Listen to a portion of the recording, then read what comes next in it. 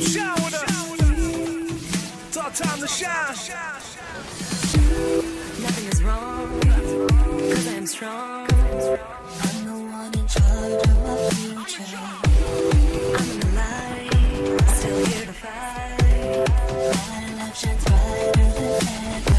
Time, time, time, time, time, time. Holla, what's up, guys? All right, this is gonna be my first episode. I honestly have no idea, you know, where it's gonna go from here. I'm gonna try to come at you guys every Wednesday. Some of you probably know me as, uh, let's see, John, John Rufy, John Rufael, medical student, crashed ice. Really doesn't matter what you know me as. I just got a message and I'm trying to, I guess, hope that it will go out and hopefully make a difference. But you got to start somewhere. So I am just starting my clinical years of medicine, which will be my third year of medical school, and I'm just beginning to notice a bunch of things. And I don't know if it doesn't help you guys. I'm hoping to document it for myself. You know, maybe there's some other people who feel the same way about the things I'm going to say. So first off, I'm going to say I failed out of medical school in 2008. What is it now? 2015. So yeah, about se- seven years ago.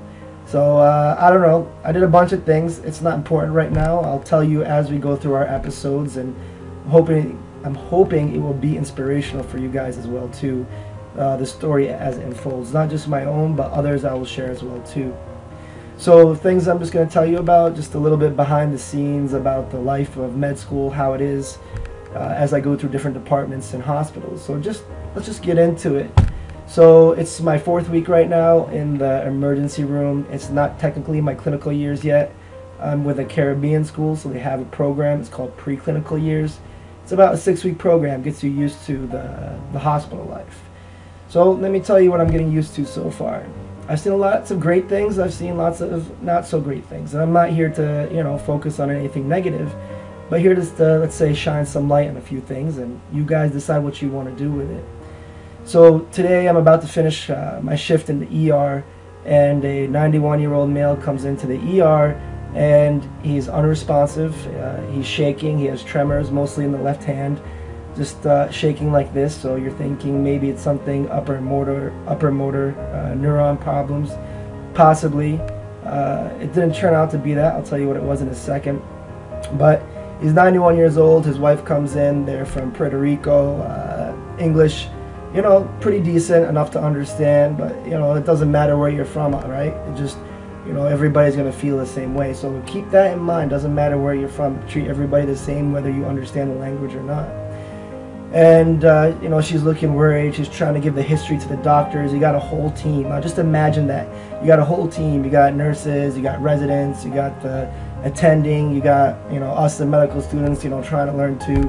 And you know she has no idea what's going on so you know she gives her history and everything and you know she's looking all worried everyone's suspecting a stroke the stroke team comes down surrounding them got the EKG on and you know want to do some blood work everything so uh, they get all their information and whatnot. And the thing I want to tell you is, you know, he goes off to the CT, see if you know he has a has a bleed possibly as well too.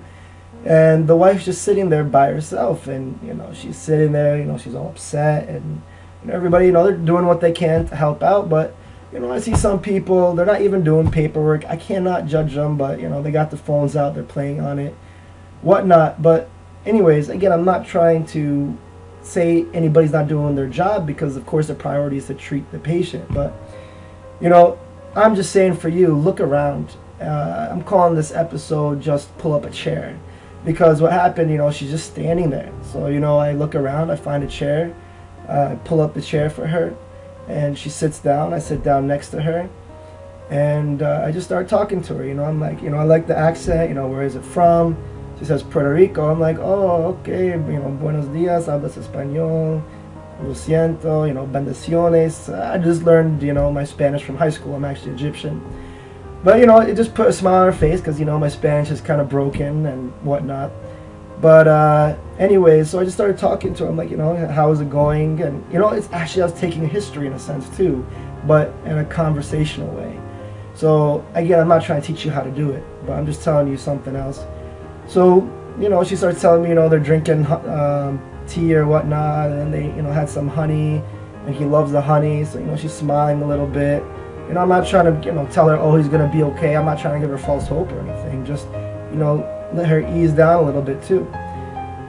Anyways, uh, so it comes back. Fortunately, it was just a seizure. There, the CT came out negative, but um, like, can I get you anything? You know, maybe some water. I had no idea where to get the water, so I just went, you know, a couple bucks, uh, bought a bottle of water for her and whatnot. So, uh, anyways, I guess uh, I don't want to make these things too long, but the point of today is I just want to say, just pull up a chair, uh, just stop, look around see what else is going on if you have a moment you know offer somebody you know some support. You really don't even have to say something. You could actually just pull up a chair and sit down next to them and that says a lot it means you know i'm right there. Again you know the priority is to take care of the patient. I understand that but uh, i'm not going to get too much into it. It's up to you, want to do what you want to do out of it. So uh, the inspirational motivational part of this is you know be yourself if you see something, you know, take an initiative, uh, make a difference. So hopefully that's what I'm trying to inspire out of you guys. Again, you know, I fell out of medical school. What do I know? But hopefully, as I tell you my stories over these episodes, it serves as some motivation for you guys as well too. So all the best. Take care, and uh, as always, just be yourself.